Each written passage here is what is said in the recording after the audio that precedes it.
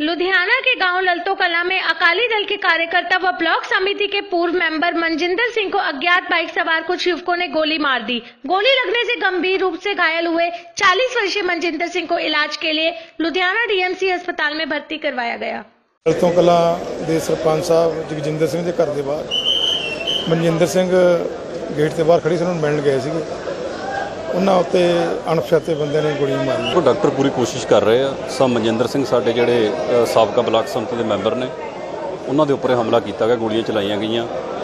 ਸੋ ਜਦ ਹੀ ਪਿੰਡ ਦੇ ਸਰਪੰਚ ਸਾਹਿਬ ਮੌਕੇ ਤੇ ਮੌਜੂਦ ਸੀਗੇ ਉਹਨਾਂ ਨੂੰ ਜਦ ਹੀ ਮੌਕੇ ਤੇ ਲੈ ਕੇ ਆਏ ਨੇ। ਤੇ ਡਾਕਟਰ ਪੂਰੀ ਕੋਸ਼ਿਸ਼ ਕਰ ਰਹੇ ਆ ਬਚਾਉਣ ਦੀ। ਸਭ ਤੋਂ ਪਹਿਲਾਂ ਪ੍ਰਮਾਤਮਾ ਕੀ ਅਰਦਾਸ ਆ ਵੀ ਸਾਡਾ ਅ, ਬੰਦਾ ਬਚ ਜਾਵੇ